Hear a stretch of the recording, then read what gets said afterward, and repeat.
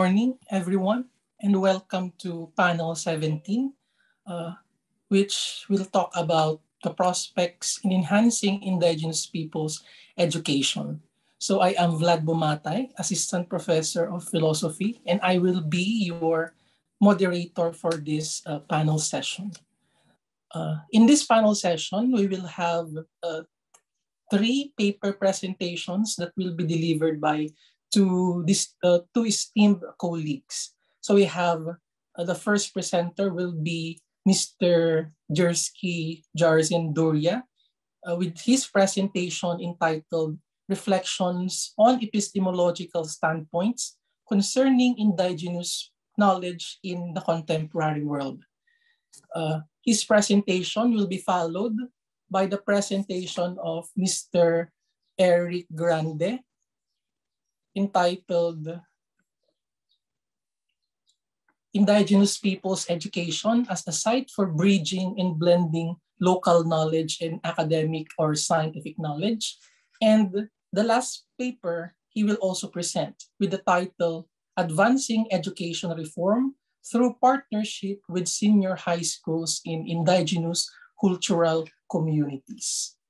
Uh, so before we begin, let me just read some of the uh, reminders from the from the organizers with regards to the conduct of our uh, panel session. So the first reminder is for the audience to send their questions if ever you will have your questions to our chat box. And if you wanted to ask your questions live, you can raise your hand and wait me and wait for me to recognize you before you ask your question on live. Another reminder is for uh, our audience to please unmute themselves in order to minimize uh, the noise coming in in our Zoom meeting. Uh, and also in relation to uh, the Q&A Q&A part of this session, may we request the those those people who will ask who will ask their questions to raise their questions in a concise and polite manner. So without further ado, we can proceed now to the presentation of Mr. Doria. So Mr. Jarsky Jerzin Duria is a research specialist of Extension Office, Central Luzon State University. He graduated from University of the Philippines Baguio with a degree on Bachelor of Arts in Social Sciences, major in History and minor in political science. He's currently taking his master's degree on rural development at CLSU. He already presented papers in regional and national conferences. His research interests include indigenous and environment studies, indigenous people, local histories, and issues on Philippine politics. Papagpalayang araw sa ating lahat. Hi sa mga viewers natin dyan. I am Jersky Jarzin Duria of Philippine Statistics Authority, and welcome to my video entitled Reflections on the Epistemological Standpoints Concerning Indigenous Knowledge in the Contemporary World. This paper will focus and offers a reflection on the epistemological perspectives concerning indigenous knowledge, or IK, and in, in issues that coincide with indigenous cultural preservation in the age of globalization as a form of reflection, the arguments in this study were derived from several academic articles and content, contending paradigmatic analysis from various intellectuals. So here is Mr. Johnny doing some philosophical reflections and contemplations about life and especially with indigenous knowledge. So this will be the outline of my presentation which we'll be discussing in the succeeding slides. As an introduction, let us quote Agrawal 1995. But their knowledge certainly cannot be saved in an archive if they themselves disappear. This quotation of Agrawal pertains to the indigenous people or IPs. And if we will analyze this quotation, we can see here that there are various challenges and struggles which the IPs face and experience, not just in our country, but in the global scale. One of the problems which the IPs face is the loss of land.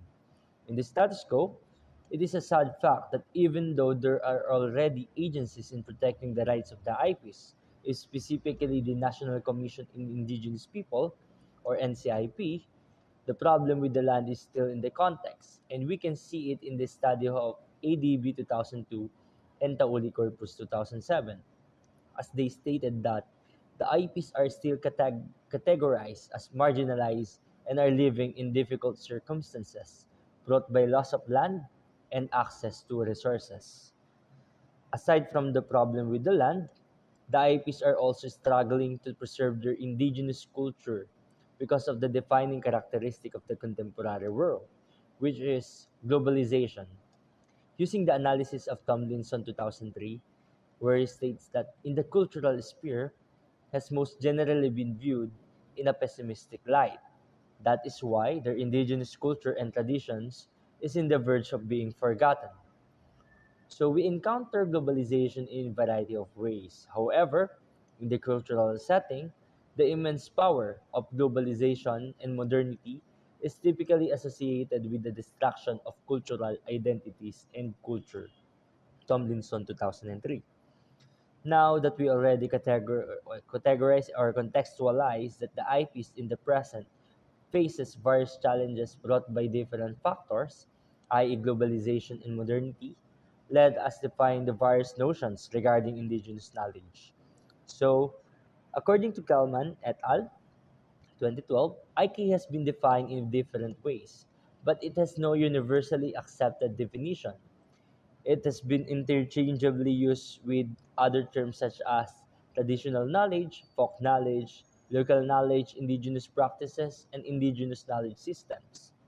So, what we can see here is that IK was not only preserved through written document, but majorly through oral tradition. So, next, now that we already defined IK, let us define or and discuss the various notions regarding the, the impacts of indigenous knowledge. So this table came from Lutpa, where he summarized the debates regarding the impacts of indigenous knowledge. So there are three categories modernism, indigenism, and the third view, or the debunking the myths. So in the modernism, it looks at IK as detrimental to development and, and environmental efforts. Also, there is no scientific element which coincide with it. On the other hand, indigenism, where it generally looks at IK as suitable for sustainable attempt, and it has a scientific component. It also has a view that by conserving IK, it will preserve nature and environment at the same time. Lastly, the third view, where it looks at indigenous and the scientific, that these two ideas and concept cannot be delineated with each other.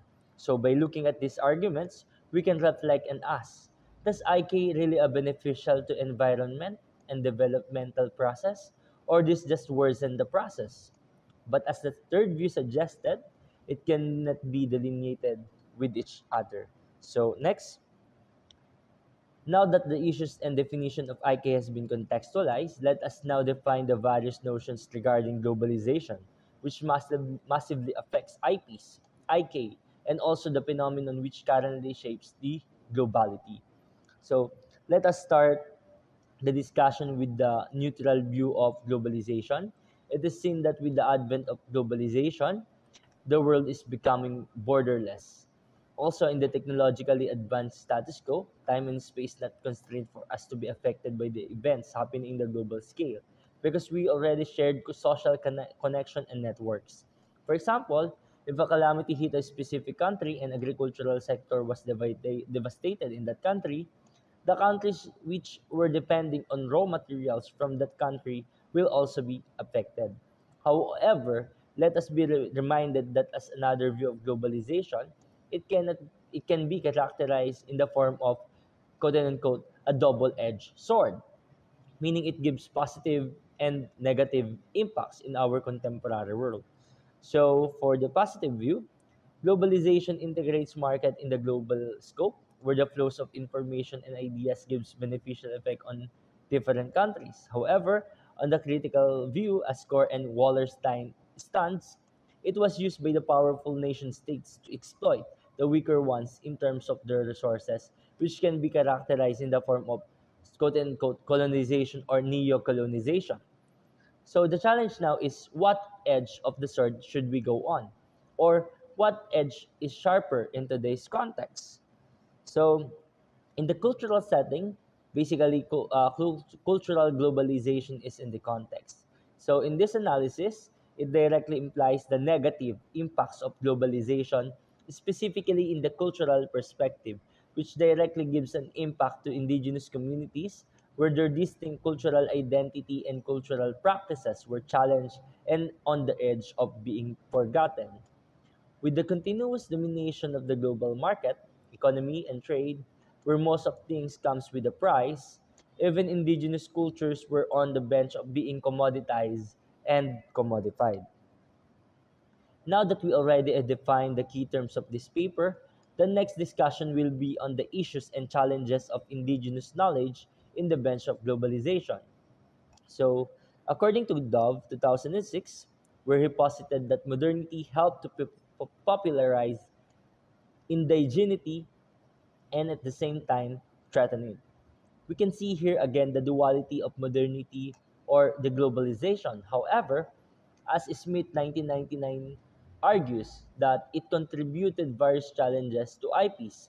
One of the challenges which the IPs experience is about their distinct IK because Western knowledge is dismissive on the capacity of IK, which leads to the dichotomy between the indigenous knowledge and the Western knowledge. But let's reminded that, that the dichotomy between the two has been debated not just in the status quo, but even the earlier anthropologists such as Malinowski, Boas, Levy Bruhl, Mauss, Evans Pritchard, Horton, and Levi Strauss, according to Agrawal 1995. However, what we need to understand here is that the primary aim of IK and the rise of IK in the recent literature is to decolonize research. Going back to the dichotomy between the two concepts, the issue between the two knowledge is that Western knowledge is ignoring, dismissing, and undervaluing the capacity of IK because it focuses on the everyday life of people, while Western knowledge concentrates on the investigative aspect of the world. However, both terms has been in an intimate interaction with each other since the 15th century, so it is difficult to adhere to view of indigenous and western forms of knowledge being untouched by each other.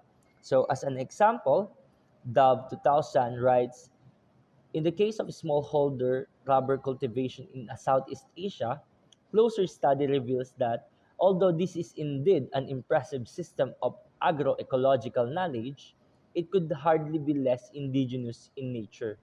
But what we need to understand is that both concepts have various ways of knowing the world. Let us move on on the next issue regarding the rise and fall of IK. So basically, based on these praises, it is evident that the growing developmental researches on IK manifest that it is a vital aspect of development. It also became a platform to give voices to marginalized sectors and communities. But with the growing influence of modernity, IK is in danger because it is not practiced anymore, specifically by younger generations. The newly introduced technologies on livelihood, fishing, and agroforest production might give way for the IP, IPs to forget their culture and traditions. In this sense, the challenge is on, on us. Should we take another step on helping them to preserve their culture or another step to forget it? So another issue in the contemporary world is about the indigenous knowledge and indigenous cultural preservation of IK because IK is slowly vanishing today and that's the truth because of modernity and cultural globalization. That is why there are growing developmental researches and preservation and documentation of IK or also called as the IKSPs. As Agrawal pointed out, If indigenous knowledge is disappearing, it is primarily because of pressures of modernization and cultural homogenization, which threaten the lifestyles, practices, and cultures of indigenous peoples. However, the open access of knowledge may not be appropriately applied to indigenous knowledge. But the question is, why? If we will analyze, IK is vulnerable to exploitation. So listed here are some of the cases that companies, scientists, and even academicians use IK for their own gain. The problem here is the knowledge which should be benefiting the IPs to improve their economic conditions were used by external people, quote unquote external people, at the expense of the IPs who possess that knowledge. As one example, Posey 1996 claimed that academics and scientists who record IK have enhanced their careers by doing IK research, improving both their status and salaries. Also, the study of Rural Advance- Advancement Foundation International 1994 argued that the companies in the agricultural and pharmaceutical sectors have used indigenous knowledge about plants and animals to manufacture new drugs, crop species, and other commercial products resulting in huge profits. So pharmaceutical, biotechnological companies and researchers are using IK for their self-interest and for their own gain. So next issue is the commodification, bastardization, and commoditization of culture. So according to Greenwood, he analyzed that cultural commoditization is a process where culture is being packaged, priced, and sold like things in a tourism industry, which caused loss of meaning of culture. The immense capitalist in agenda and neoliberalist characteristic of contemporary world, where majority of the population operated by a profit-oriented consciousness. Even culture and IK are frequently misrepresented by majority of the population and were often used as part of innovation and creativity, which tends to be more destructive. So, similar to this observation, is uh, the idea of Burke et al. 2000, where they argued that in the lens of many non-indigenous peoples, they viewed globalization in a detrimental way, where it is a more opening up of new markets and finding new ways of quote-unquote selling indigenous culture. So basically, what we need to understand in this slide and the catch here is it is a sad truth that the scientific researches, which have good motives in the knowledge formulation in the academe, served and became a threat to the lives and culture of IP communities. Just like what Boisen 2010 observed, the French, Japanese, and American bioprospecting expeditions in the Philippines have resulted in the pa- patenting of ilang-ilang, banaba, nata de coco, and snails at the expense of Filipino IP communities. But it is a good thing that the National Commission on Indigenous People is now in the context to, to set protocols and guidelines to protect the IPs and their indigenous knowledge. But abuses and corrupt practices is present in the NCIP as the employees of the NCIP manipulates the pre prior informed consent and collaborating with mining companies for their own gain. So the irony here is that the agency which is supposed supposed to be protecting the IPs are the culprits on why they are still oppressed and struggling in our society.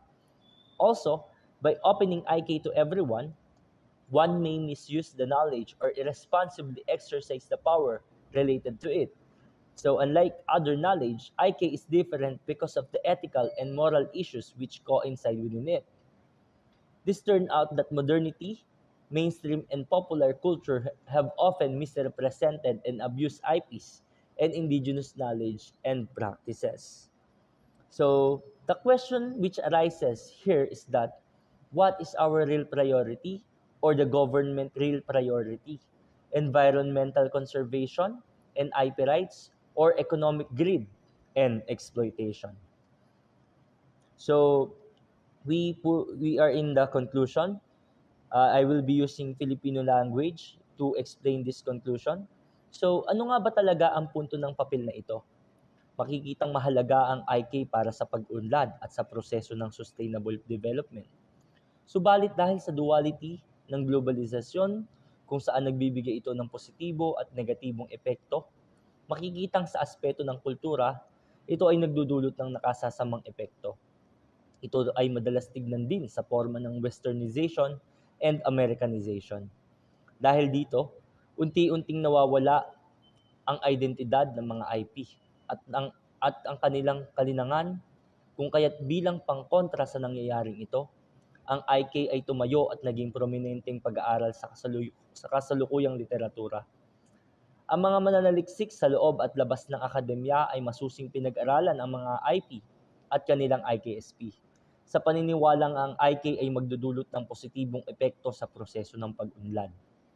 Subalit ang preserbasyon at dokumentasyon ng mga IK at IKSP sa kontemporaryong panahon ay may mga issue at mga problema dahil ang kultura ay kadalasang ibinibenta, binabastos at nababastos at nilalagyan ng halaga o presyo. Idagdag pa na ang pagiging bukas ng IK ay malimit na naaabuso at nakararanas ng eksploitasyon. Nagagamit din ito ng mga kapitalista para sa kanilang pansariling interes. Dahil dito, bilang refleksyon, di gaya ng ibang kaisipan, ang IK ay iba dahil sa mga ethical at moral na isyong issue na nakapaloob dito. Gayun din, hanggat ang karapatan ng mga katutubo sa kanilang lupa at kultura ay hindi nire-respeto at binibigyang halaga ng nakararami, hindi nga malabong mawala sila sa darating na mga panahon. Bilang huling argumento sa pag-aaral na ito, ito ay nagsisilbing hamong sa ating lahat. Saan tayo tutungo? Maraming salamat. Thank you, Mr. Duria, for that uh, very interesting and uh, illuminating presentation on indigenous knowledge in the context of globalization. So uh, let's now proceed to the second presentation, which is entitled Indigenous Peoples Education as a Site for Bridging and Blending Local Knowledge and Academic or Scientific Knowledge, which will be presented by Professor Eric Joyce Grande. Professor Eric Joyce Grande is an assistant professor at the Department of Humanities, College of Arts and Sciences, UP Los Baños, where he handles language and communication courses.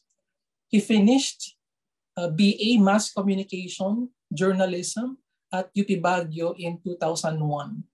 In line with the K-12 transition period, he runs knowledge management for K-12 or KM412, which seeks to support basic education's emerging and growing research mandate, particularly in indigenous cultural communities in the Cordillera Administrative Region. He believes that while research management guidelines exists, indigenous or local knowledge traditions must be the base scaffold of this mandate in the said areas. Let's now listen to the video presentation. Good day, everyone. I'm Eric Joyce Grande from UP Los Baños. The title of my presentation is Indigenous Peoples Education as a Site for Bridging and Blending Local Knowledge and Academic uh, Knowledge. So here's the original title of my presentation. However, after a year, there has been a lot of uh, development, and that is the reason why uh, I'm going to propose uh, a new title. So that is Theorizing Indigenous Knowledge, Research and Management. So here's the outline of my presentation. As a matter of introduction, I would just like to discuss the objectives of this presentation uh, I propose a social ontology, a constructivist uh, epistemology, and Tuping as an exploratory indigenous research methodology for indigenous knowledge. Uh, I would like to anchor the significance of my study uh, or, or, this presentation in particular uh, on the theme of the AMIC conference way back in 2017 uh, the theme was Rethinking Communication in a Resurgent Asia. Uh, and AMIC or Asian Media Information and Communication highlighted the need to rediscover our roots, therefore articulate Asian or indigenous conceptualizations and models. So this is in line with Asia as a method and the overarching concept or construct is no less than decolonizing research. So allow me to uh, revisit a few concepts before moving on. So first and foremost, I think I need to uh, briefly discuss theorization or theorizing, uh, which is surfacing or eliciting the unarticulated assumptions and beliefs about the phenomena under study. Uh, I did or I have been doing an ethnographic study uh, in Cordillera Administrative Region since 2015. And this presentation is an articulation of uh, those assumptions and beliefs that I held while uh, conducting that study. Uh, there is also a need to revisit uh, concepts uh, which we usually encounter in philosophy. Uh, and we usually refer to this as the philosophical underpinnings of research. Um, first is ontology, and this addresses the question uh, what is the nature of reality or what kind of being is the human being? Another concept is epistemology, or another branch of philosophy, as other authors put it, is epistemology, which is concerned with the relationship of the researcher and the researched, or the knower and the known. Um, I also have methodology, and this addresses the question how do we know the world, or how do we gain knowledge or insights about it? Uh, the last concept is discourse community or community of practice. Um, I need I also need to highlight this. It is because it's something that I always refer to. So a discourse community uh, is a group of individuals who share the same educations and professional initiations, uh, technical literature, and the lessons or the insights that they glean from this. Um, and lastly, they have the same goals and professional judgments. Not necessarily the same, but uh, related. So we now move on to the methodology. So as I stated earlier, uh, this is a snippet of an ethnographic study um, that is started way back in, that formally or officially started way back in 2016. So with ethnography, uh, the researcher needs to experience through uh, participant and non-participant observation to inquire through formal or informal interviews, or we may call these conversations. Uh, I mean the informal ones, and examining documents and artifacts. So research sites include Kalinga, uh, Tabuk City, and uh, Mountain Province, particularly Eastern Mountain Province.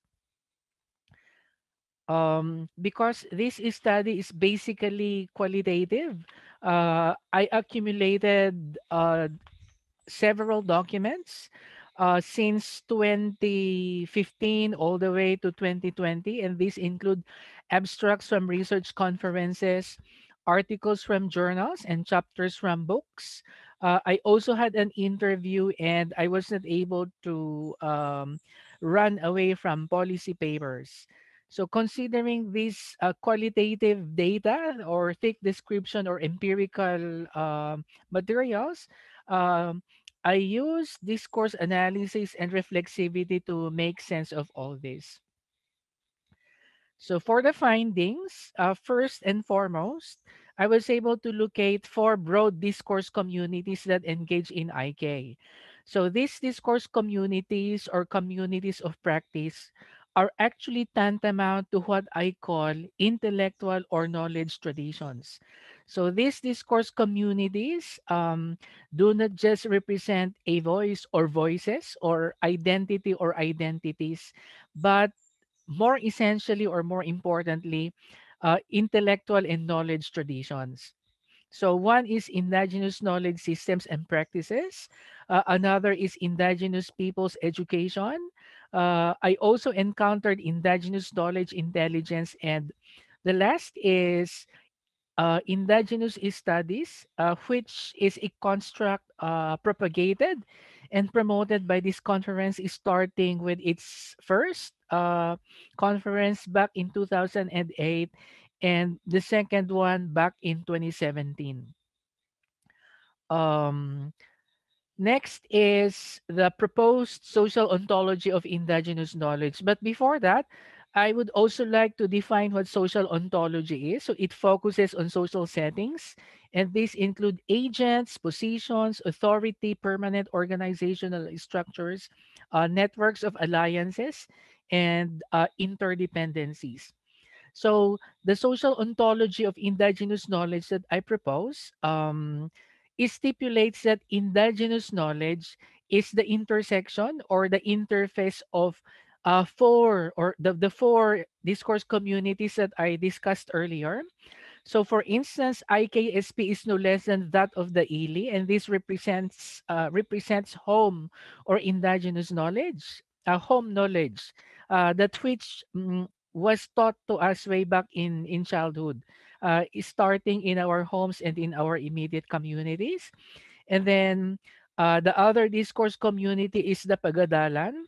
Uh, and with Pagadalan, I'm not just referring to schools, but the institutional or organizational knowledge of the Department of Education as an agency and its stake on what we call indigenous knowledge. The third discourse community or community of practice or PAMMATI or faith communities. Um, well, interestingly, faith communities also have uh, their own distinct way of making sense of indigenous knowledge, and that is why uh, they are situated uh, in the model or in the illustration.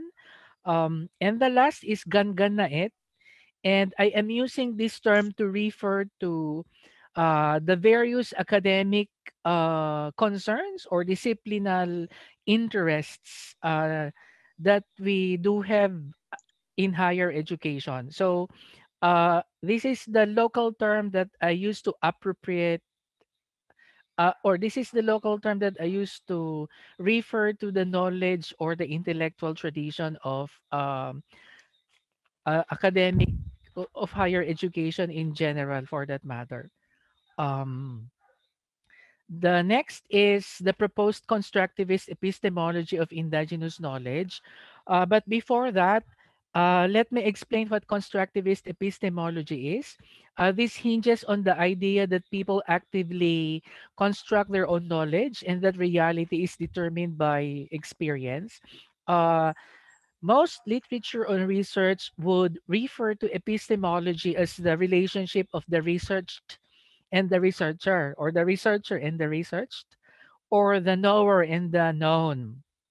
However, in the constructivist epistemology of indigenous knowledge, uh, including research and management that I am proposing, I looked into or I accounted for other stakeholders of knowledge um, in an indigenous cultural community, for instance. So we have the mangam-amu or the knower or the researcher at the center. And in the indigenous cultural community, he or she has to connect with or relate with the ma'amuan or the known or the researched, the makaamu or the knowledgeable. We also have agaamu or the network or the alliance of those who know or the knowledgeable.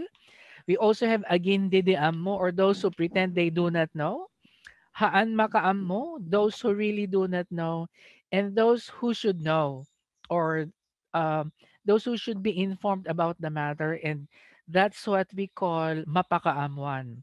And as you can see, there are gaps uh, or spaces uh, amongst um, these players of indigenous knowledge, and this would all stand for or represent uh, what we usually refer to as knowledge gaps in research. Uh, we now move on to Tuping as an exploratory indigenous methodology. So I am proposing Tuping as a methodology by simply uh, abstracting it and uh, such abstractions are hinged on what we call metaphors, and these metaphors refer to certain processes involved in tuping or in panagtuping. Uh, according to my key informant, um, who is now an IPMR Indigenous Peoples uh, mandatory representative and a retired elementary school teacher, tuping usually starts with pango or ipango.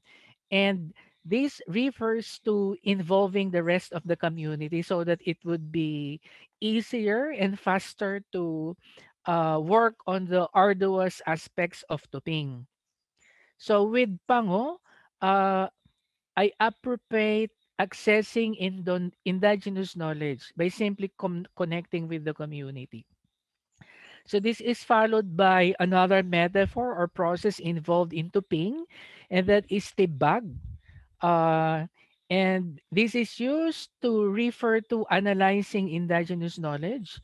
Uh, according to the key informant, um, the people in the community prefer the smashed stones from uh, the the brook or this where is smashed from boulders. Uh, it is because it is believed that these are more likely to cleave uh, compared to the stones with smooth surfaces uh, taken from the riverbank. This is followed by another metaphor or another process involved in tuping, and this is bagi. And uh, with this, uh, this points to aggregating or synthesizing indigenous knowledge. Again, according to the key informant, uh, the mason or the agtuptuping for that matter has a way of putting the stones together. So first and foremost, he determines the mouth of each and every stone and well puts this either beside or on top each each other to form what we call a rupa or a face. And eventually the entire tuping is something that they refer to as a bagi or a body or a, um, is a literal structure for that matter. And then the last uh, metaphor or process is purdusan. Uh, purdusan is a rite undertaken to um, reinforce or it's a rite that is observed prior to reinforcing or repairing or restructuring or reconstructing a portion of the tuping.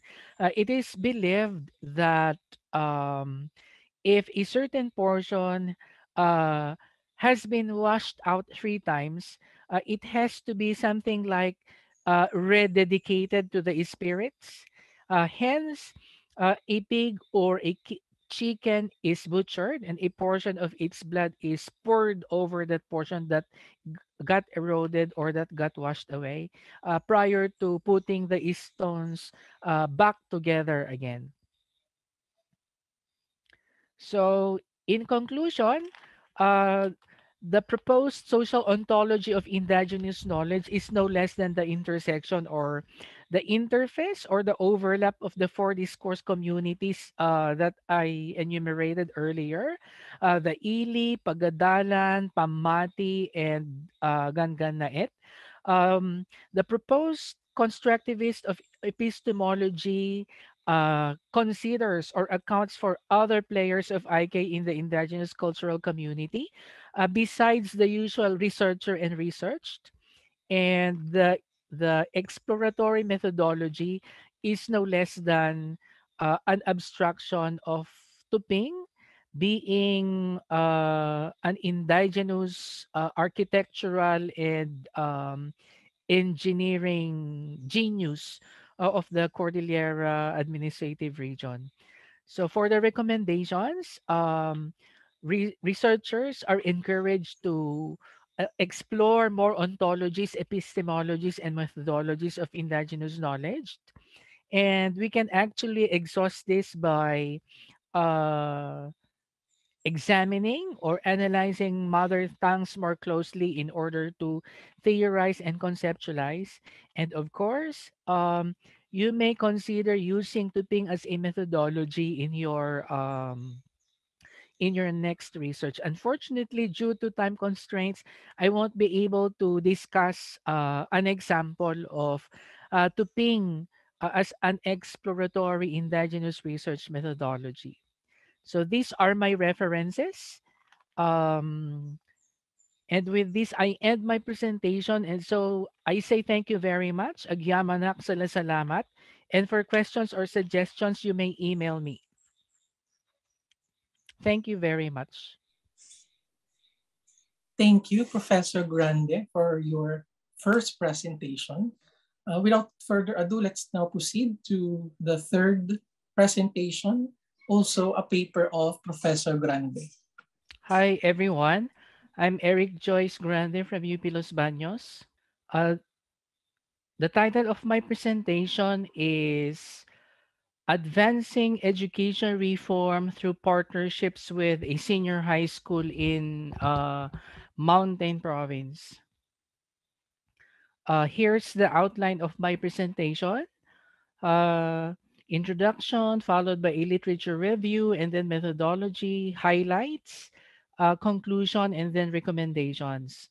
So uh, to introduce my presentation or my paper, um, I would like to recall that way back in 2016, the Commission on Higher Education launched what we call K to 12 transition program.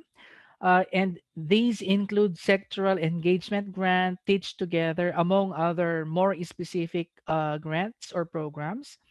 Uh, on the other hand, the Department of Education um, also launched uh, Sulong EduKalidad way back in 2019 and its aspirations are articulated in the acronym KITE, which stands for K to 12 Review and Updating, uh, improvement of learning facilities, teachers and school heads upskilling and reskilling. Uh, and the last is engagement of stakeholders for support and collaboration. So in this context, I would like to present the objectives of my presentation.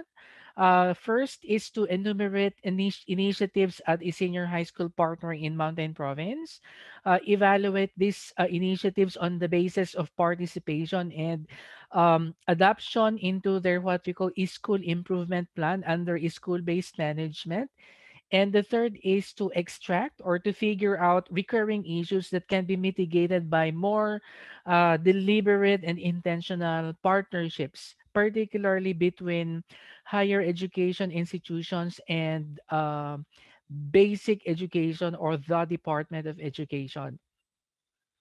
So for the literature review, we will focus on research practice partnership. Uh, which is uh, a framework or which is a model uh, of doing collaboration or partnership uh, with any educational sector for that matter. So research practice partnership is defined as a long-term, mutually beneficial and formalized collaboration between researchers and practitioners that focus on the following. So first is producing more relevant research uh, followed by improving the use of research evidence in decision making. And the third is engaging both researchers and practitioners to tackle problems of practice.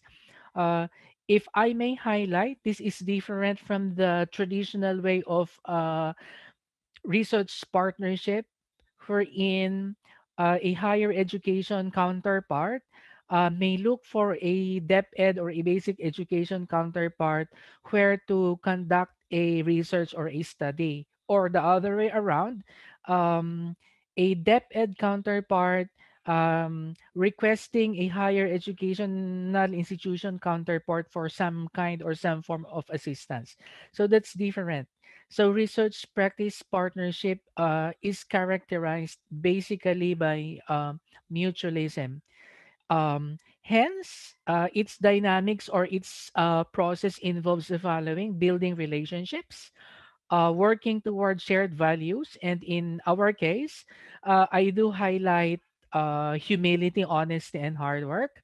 And then modifying professional roles and identity. So in this case, the researcher can be uh, a practitioner or the practitioner can be the researcher for that matter. And the last is building a new infrastructure focused on learning. So in this study, um, doing research practice partnership uh, is a way of introducing innovations uh, in education, particularly in line with the ongoing education reform, uh, which is more popularly known as uh, K to 12. So the methodology is ethnography. Uh, it is because uh, this is a part of uh, a study which uh, started way back in 2013, but officially or formally it started only in 2015 2016 and uh, it's still ongoing so this is just but a snippet of an ongoing ethnographic research so with ethnography the researcher needs to experience uh, through non-participant or participant observation. So in my case, I do keep field notes. Secondly, uh, ethnography involves inquiring through formal and informal interviews.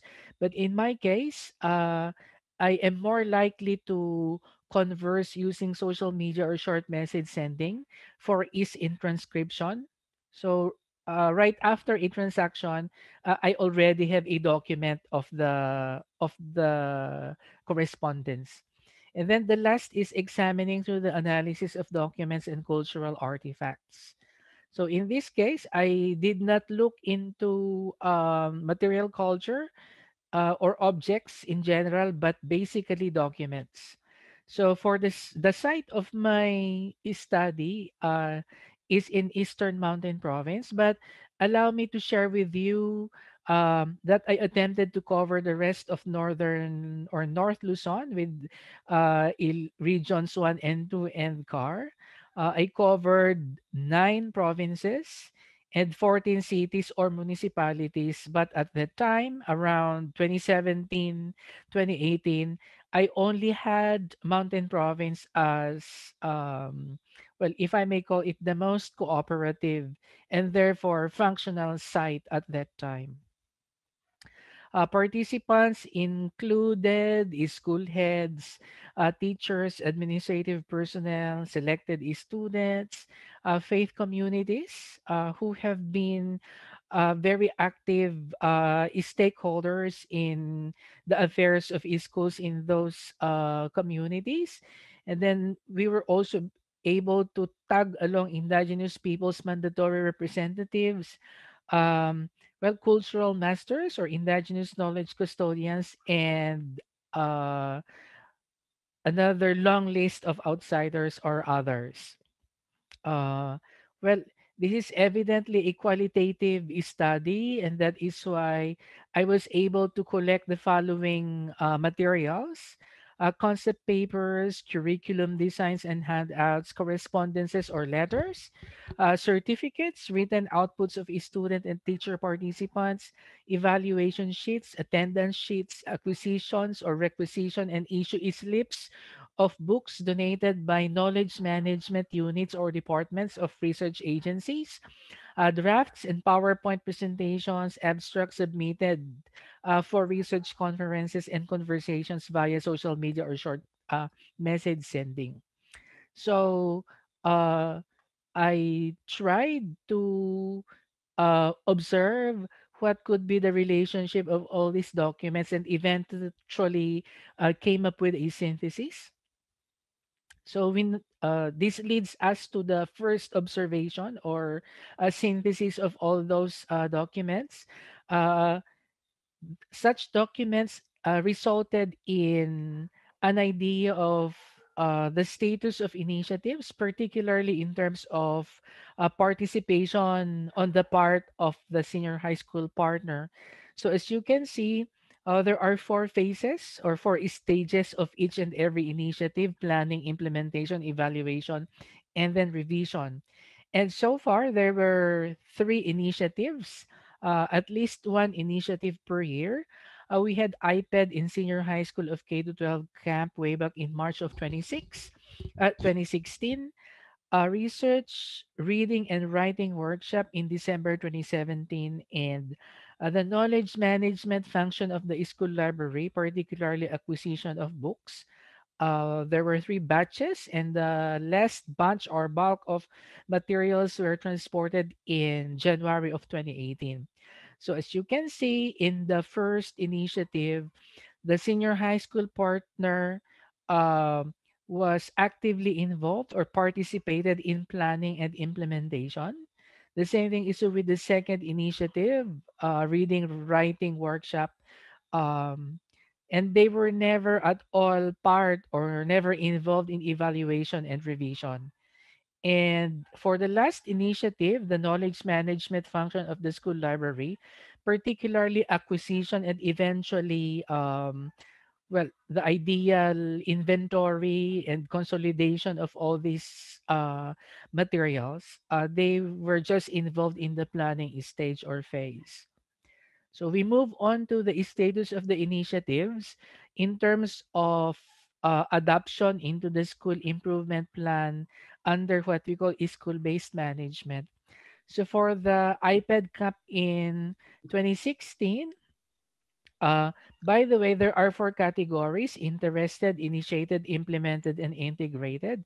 Uh, interested means the senior high school partner signified interest in the initiative.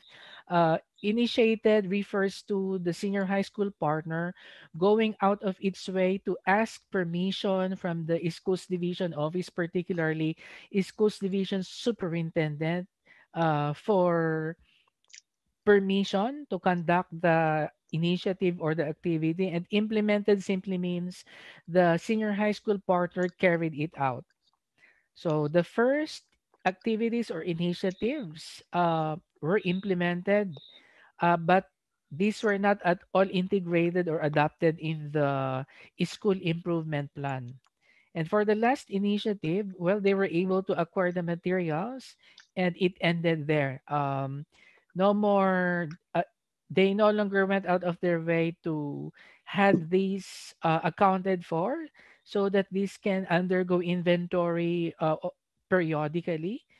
Um, so the rest of the km function uh, did not materialize uh, to make the story short. So this results in what I refer to as um, recurring issues in school-based uh, initiatives.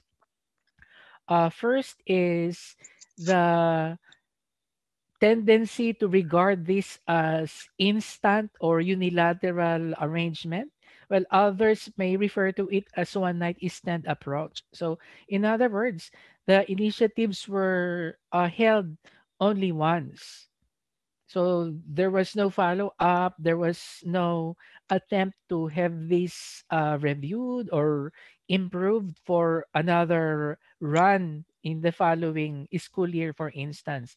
Another issue is these were, were held or conducted isolated from the, the, the usual activities or these were regarded as estranged or foreign from the school routine.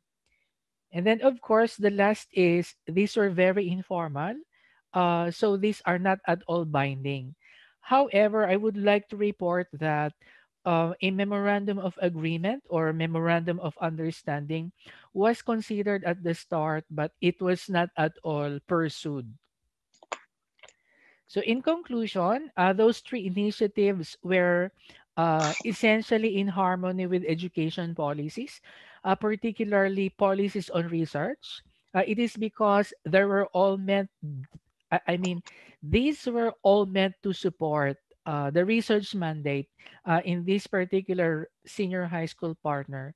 However, the the connections are very informal and therefore these are not adopted and therefore uh, the initiatives were not improved, these were not sustained, and these were not also transferred. So when I say transferred, um, this points to the idea of transferability in other schools. So if it worked in this particular senior high school, it would have been done or uh, it would have also been undertaken in other schools. So the recommendations include the following. Um, well, researchers and practitioners, uh, for that matter, need to review and um, actualize the state's vision for K to 12 graduates, uh, particularly uh, the role or the stake of research in materializing the vision of K to 12. Uh, second or next is the need to revisit our theory and practice of collaboration and partnership. Um, while many higher education institutions uh, flaunt their successful extension programs, not so many are written about this. And uh, worse, uh, we hardly develop concepts and models and methodologies out of this. Um, and that is why uh, we need to reinstitute more deliberate, nurturing, and sustainable uh, initiatives or partnership. Hence, we may consider research practice partnership or RPP. And lastly, we need to reflect on these, on all of these, uh, in order to develop situated uh, or local concepts, uh, models, and methodologies of uh, collaboration, partnership, or engagement. So these are my references. Thank you very much. So for questions and suggestions, you may email me. Thank you, Professor Grande, for that presentation. Before we proceed to the Q&A session, uh, allow me to first summarize or give the highlights of these three uh, paper presentations of, of panel 17. So uh, Mr. Duria is interested in the status or condition of indigenous knowledge in the context of globalization and modernity. And the thing that I wanted to highlight in his presentation is what he calls the duality of globalization.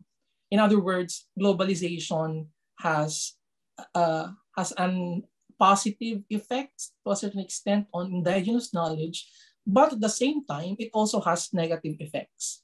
So you can see this duality of duality of modernization in IK if you remember that Mr. Doria talked about how globalization or modernity popularized indigeneity and at the same time also uh, pop, popular uh, also IK being used as a tool in development. The other axis of this duality is the fact that there's now a growing research on indigenous knowledge, but at the same time, uh, this indigenous knowledge that are being researched are increasingly being commodified. They're being commodified, uh, they're being misused by those researchers who have access to this indigenous knowledge. So I think that's an important uh, result of Mr. Duria's paper. Now, uh, let's proceed to my brief summary of Mr. Uh, Professor Grande's first presentation, which is about uh, indigenous knowledge in the context of uh, research and management. And the conclusions that he was able to forward are the following. He forwarded an, a social ontology, which basically uh, attempts to define what indigenous knowledge is. And the conclusion of Professor Grande is that IK could be understood as the intersection of these four discourse communities that he discovered in, uh, in his study of uh, the Cordilleras. He also forwarded a constructionist epistemology, which tells us that these indigenous peoples construct their own knowledge and that reality is determined by experience. And lastly, uh, Professor Grande also shared with us his notion of Tuping as indigenous methodology. Now, with regards to the second presentation of Professor Grande, which has something to do with the programs being implemented at present by uh, CHED and DepEd, and how are they being managed or what's their status in the context of uh, the senior high schools that served as the uh, site of investigation of Professor Grande. And it's difficult to summarize all the data that Professor Grande uh, showed to us, but we could say that the adoption, the implementation, uh, the planning of these programs are still in progress. And there's still a long way to go before we could completely, before these uh, senior high schools could completely integrate and uh, experience the benefits of these programs from CHED or from DepEd. So given this, uh, I think we could now proceed to the Q&A session. And I know that there are already questions in the chat box. So let me first uh, read them. Uh, there's a question here. Are you proposing, I think this addressed to Professor Grande, are you proposing the use of the word tuping for the research methodology or is this also used by the community to refer to your research methodology?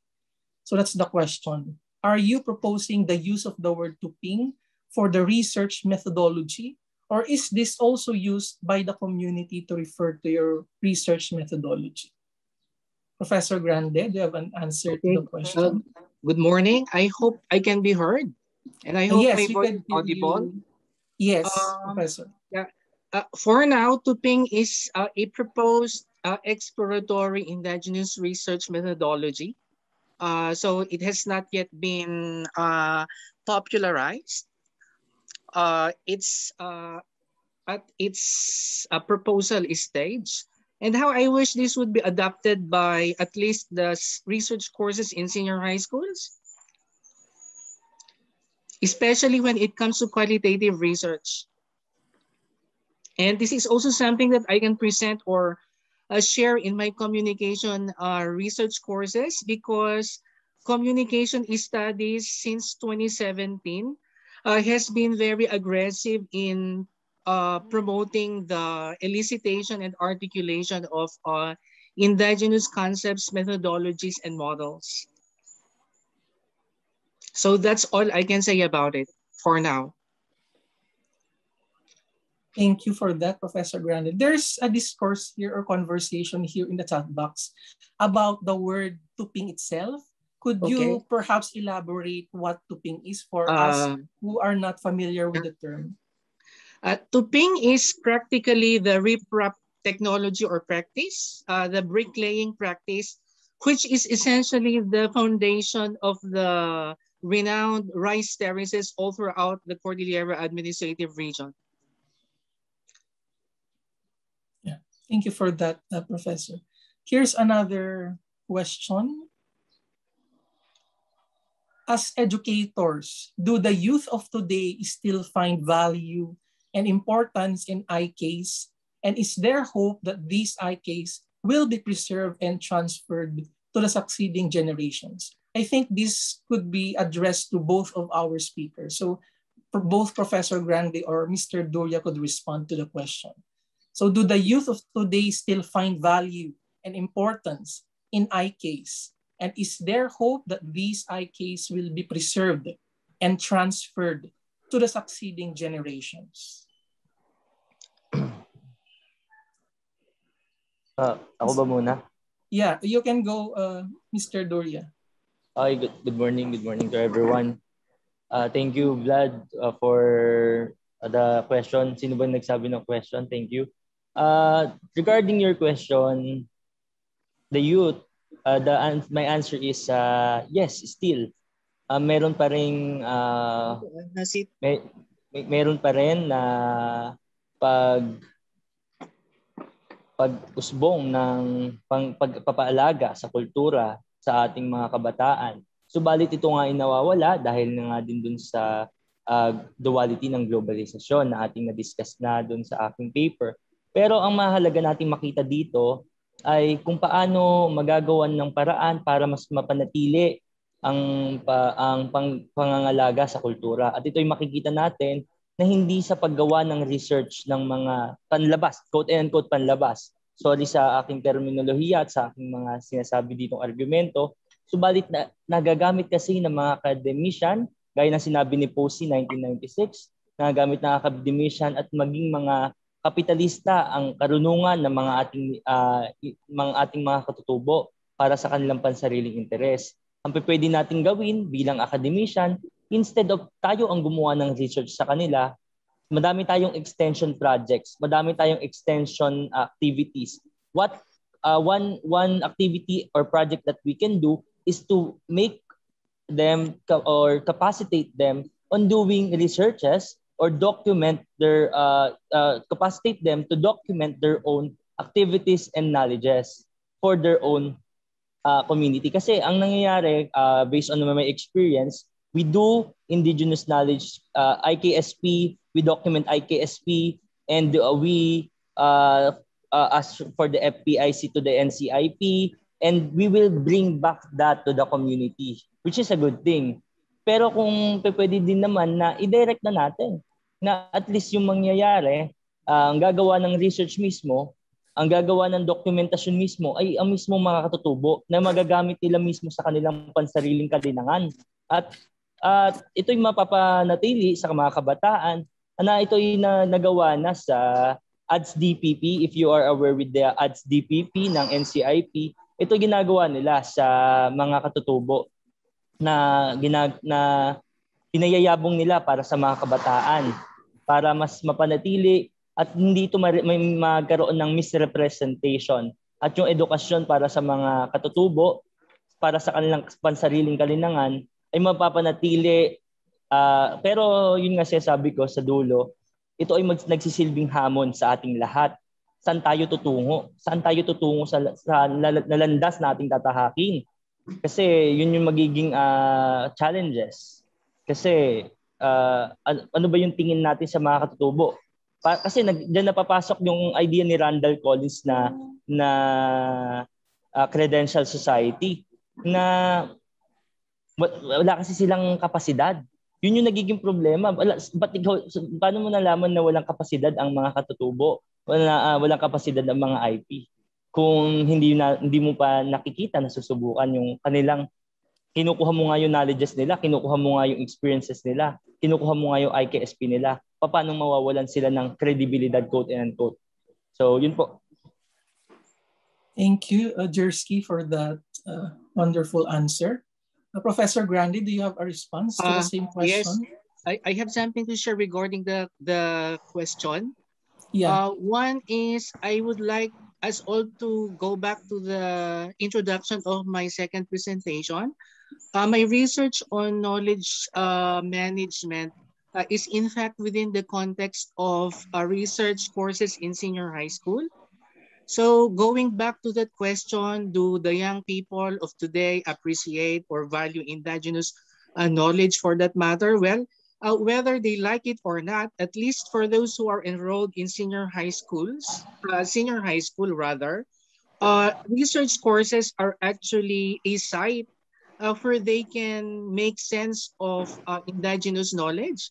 Uh, for instance, in senior high school, uh, a core uh, titled Pananaliksik sa Wika at Kulturang Filipino.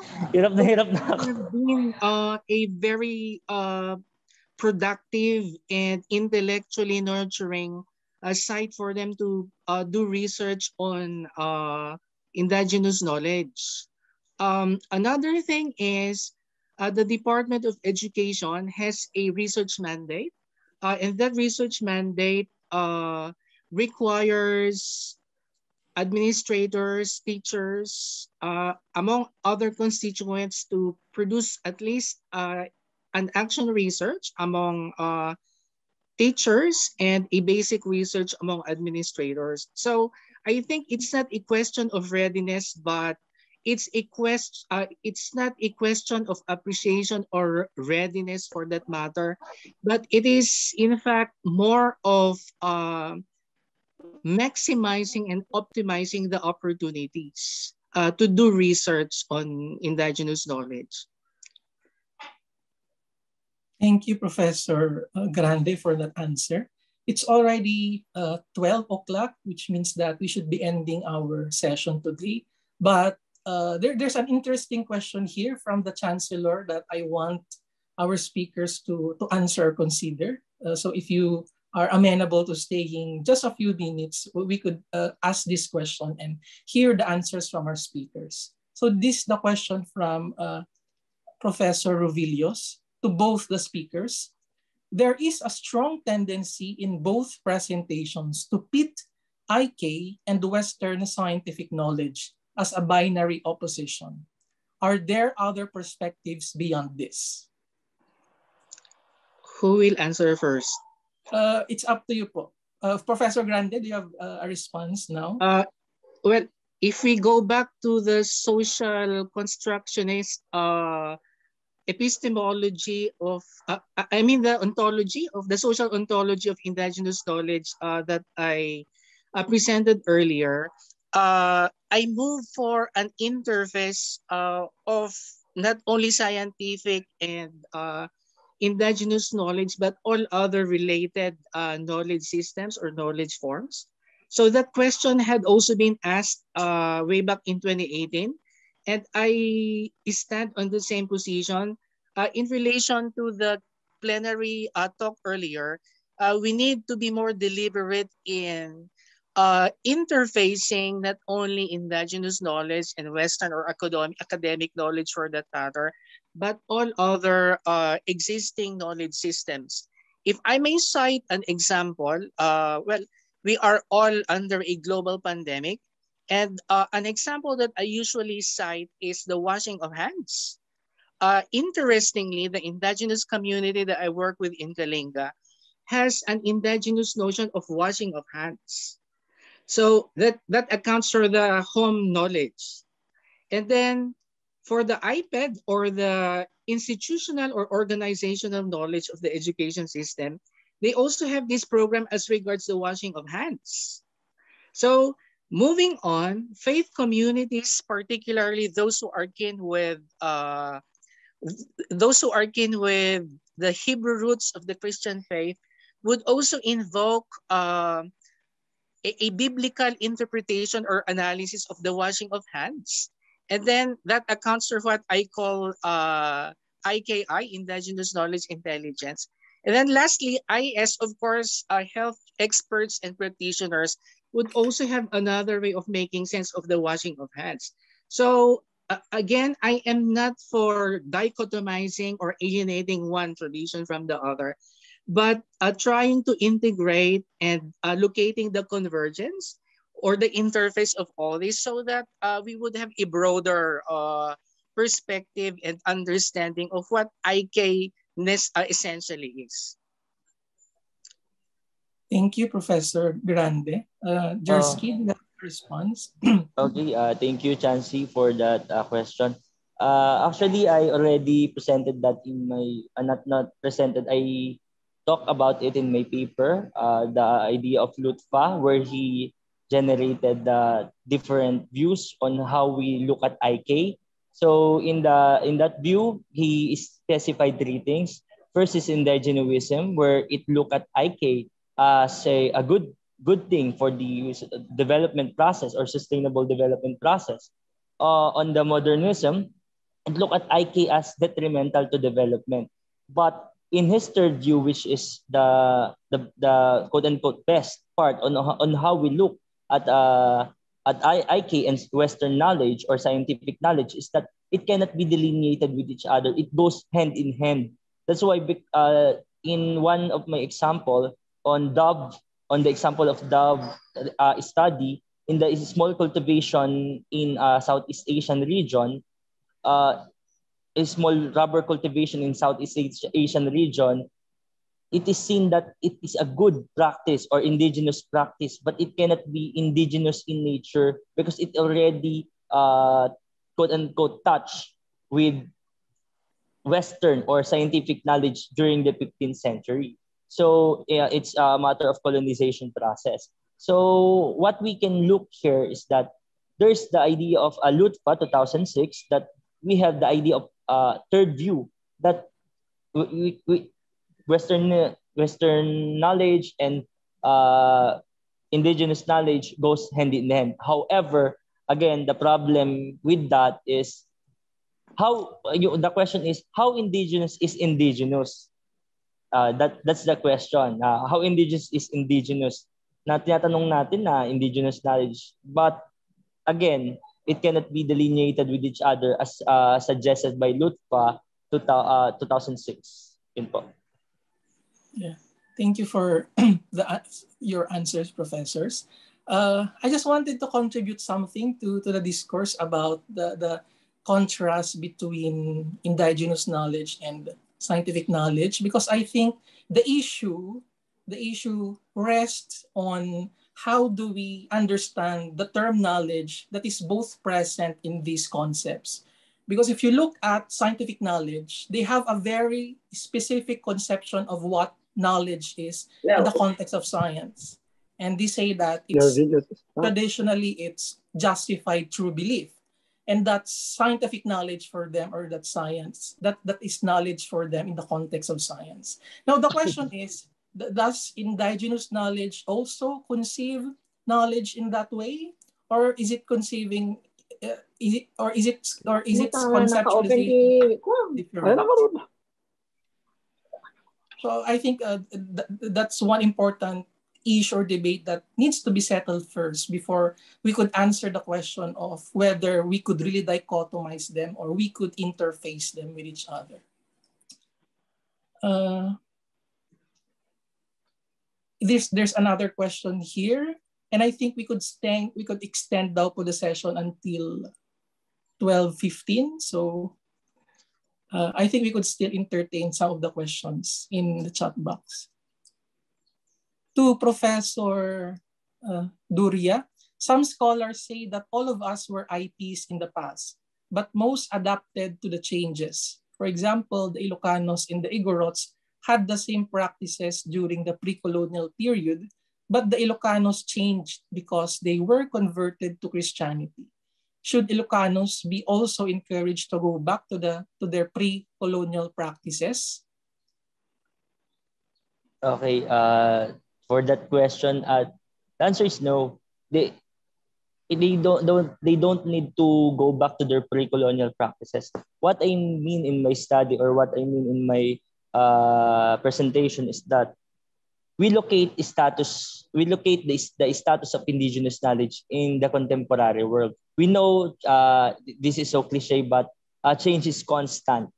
But what we need to understand is that we could um, document, we could study indigenous knowledge in the perspective of the indigenous people themselves, not we researchers. Uh, uh, I'm not against with uh, researchers doing research on IK. However, on based on my uh, study, based on my paper, it has been commoditized, commodified throughout the years because of and even used by uh, capit- capitalist uh, people because as, as just like what we seen in the, in today's context we are in the neoliberalist economy we are in a capitalist uh, economy so what i am saying is that instead of us doing research on them one thing that we can do as uh, researchers or even uh, academicians or extension workers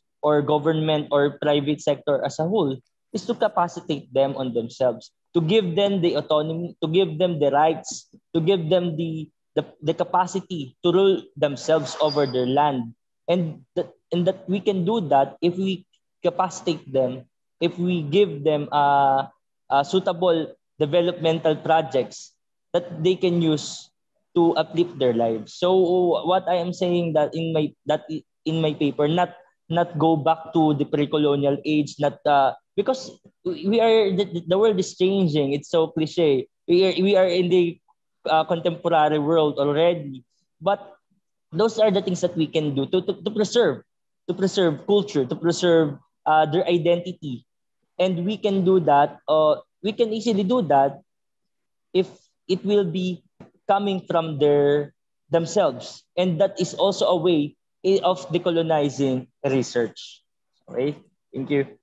Thank you, uh, Jersky, for that answer. So as much as we want to still entertain other questions, I think uh, we could end the session now since it's already at 12, uh, 12.15. And I know that we still need to get our lunch to have energy for the afternoon session.